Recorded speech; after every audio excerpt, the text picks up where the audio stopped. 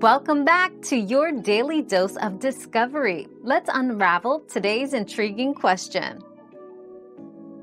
Using shaving cream on acne is not recommended.